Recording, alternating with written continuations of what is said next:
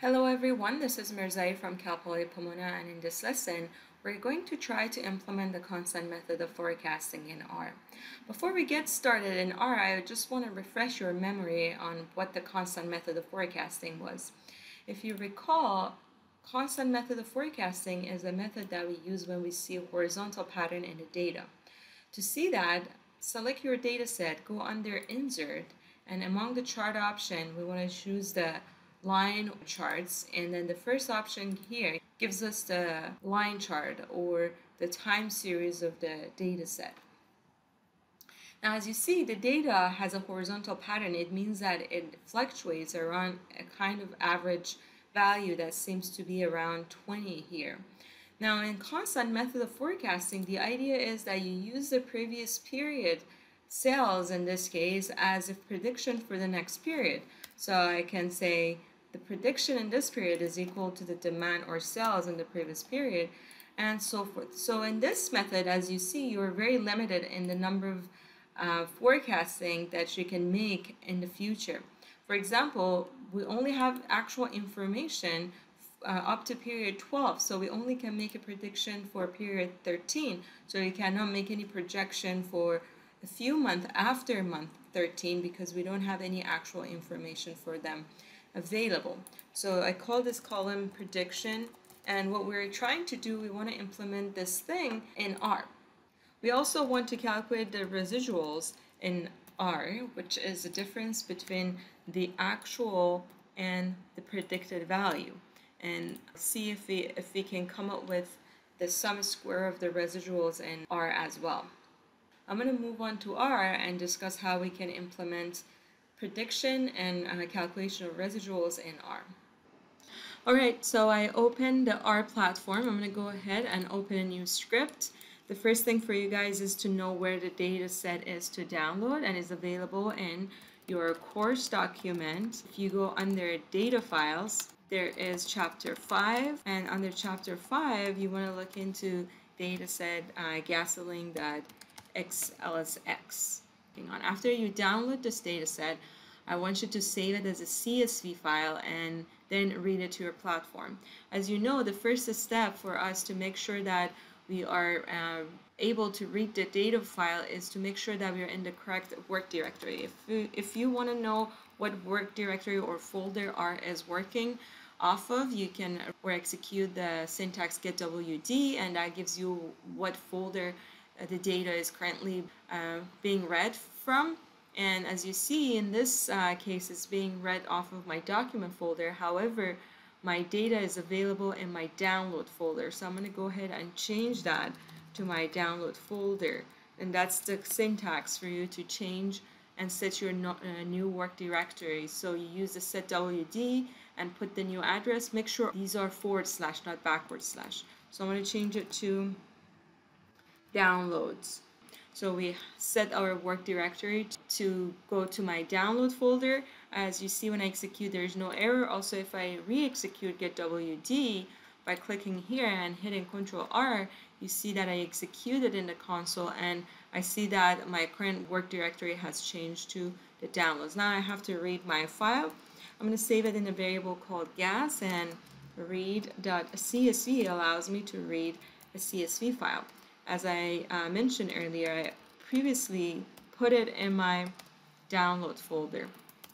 So now that I have the data set in that folder, I can go ahead and read it. As you see, there is no error. If you get any error in this step, it's perhaps you didn't define the folder correctly, so your address is wrong. Either the name of the file is incorrect. There might be typo here, there might be typo here, there might be backward slash instead of forward slash uh, or there might be um, another problem and that would be that you guys did not actually put the file in that folder you define on the top here. So make sure this file is already saved as a CSV file in here. Another source of error could be that you don't add the .csv at the very end. So be careful that you execute your two lines here correctly. When you do that, you can highlight and execute gas by hitting Control R in Windows. And if you have Mac, it's going to be command enter to execute from your script into the R console. As you see, I have two columns, uh, week, and also we have the sales of thousands of gallons per week here in the second column. Now, so the first thing here I'm going to do is to change this long name in, uh, into cells, which is much shorter. To do that, I'm going to use the function names. And then what is the data set that I'm trying to change its name? It's going to be gas. So I'm going to put uh, it inside name. So basically I'm saying that I'm changing the names of the columns and data set or data frame gas. But am I changing all the columns? No, only I'm changing the second column's header. So you put that in bracket and put the new names uh, new name in there. So if I execute this line, I change the second column name into cells. If I execute gas again, highlight control R, you see the second name has changed. So feel free to pause and execute these as we go along whenever you have to or rewind if you need to um, see some of these a step one more time. So this is also a good practice to always put a comments line on the top that what you actually did here, changing the second column uh, name into cells. So later when you refer back, uh, you're going to know what you were trying to accomplish in this line. All right, now let's go ahead and add a new column here for prediction. So to do that, I'm going to initialize it with NAs. So to add a new column to gas, I use dollar sign and call it prediction. So that creates a new column. I'm going to initialize it with NAs.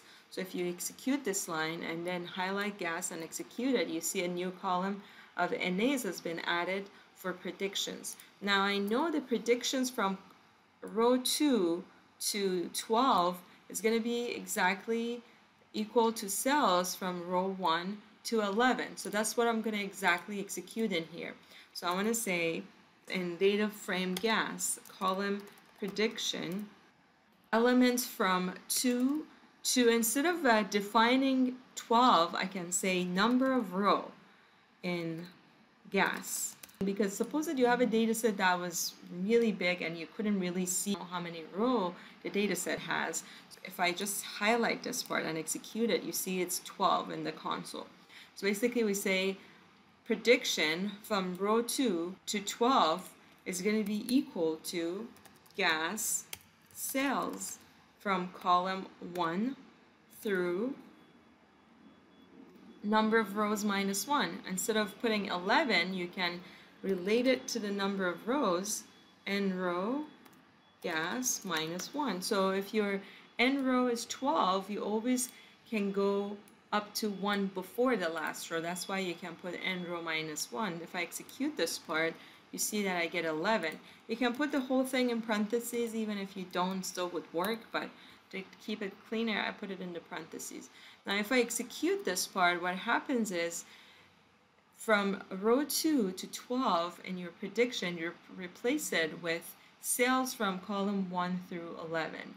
Now let's see if we did it right. So if I uh, highlight gas and execute it here, you see that we have prediction. So 17 here is the prediction for the second period, which is the actual sales for the first period.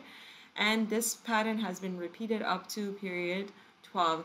So obviously in this case uh, for period 13th, we know that the prediction is going to be equal to the cells of the 12th period. However, we don't have that dimension here, so it's not added, but we can go ahead and add a new row here and say for week 13, we don't know the cells, but we have the prediction that is equal to the cells of the 12th period.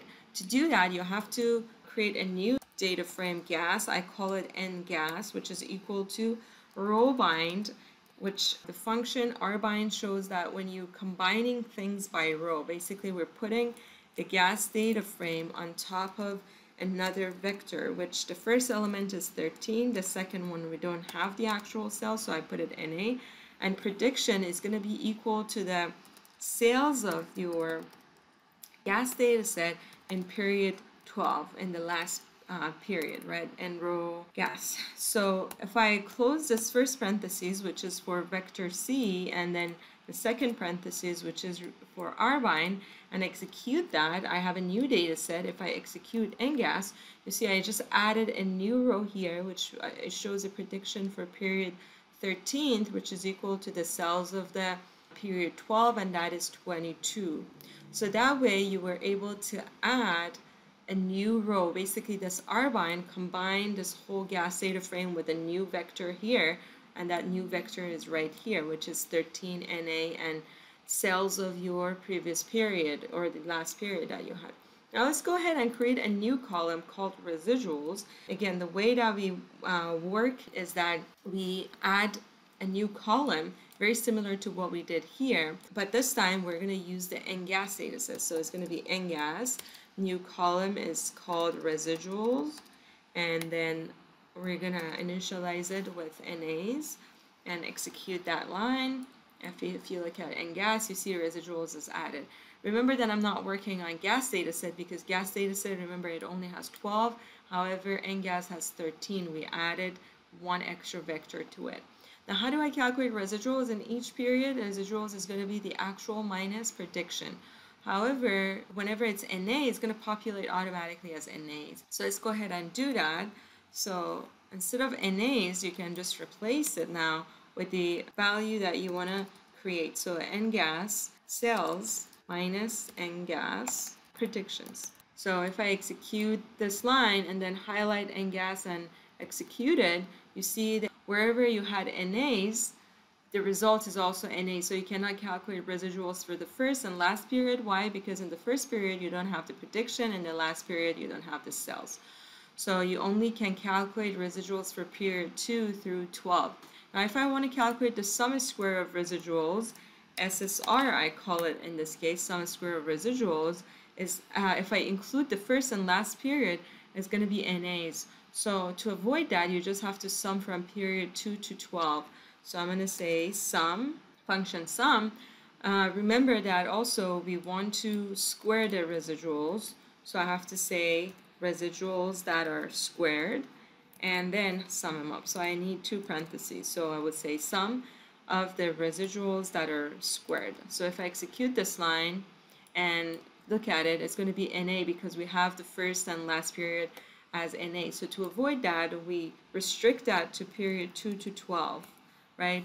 Or you can, again, associate this with a number of rows. But for the simplicity, I just leave it at 12. If I execute that and look at SSR, you see 179.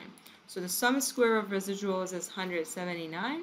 You can calculate the average of the square of residuals as one of the metric for the accuracy of your model. So mean square of residuals.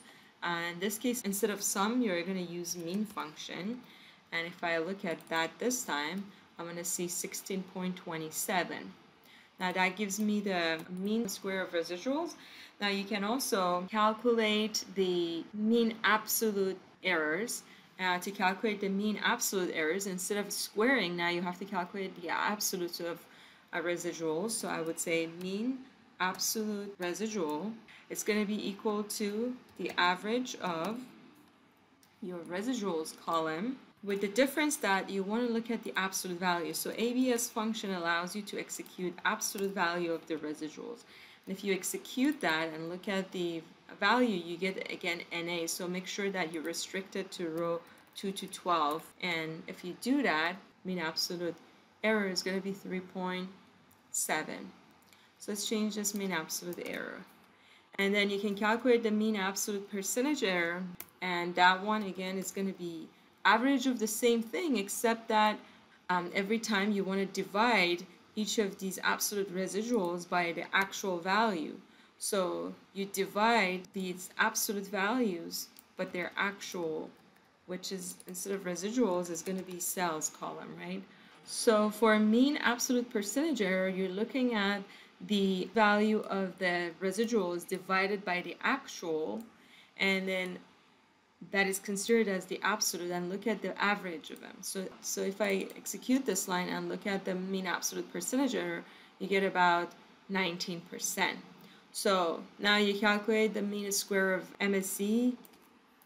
I call this MSE so that we're consistent with the book. So mean square error, the MSE is 16.2, MAE is 3.7, and MAPE is about 19%. Right, with this, we can conclude this lesson. You can find this code along with your other document in Blackboard. Thank you for watching.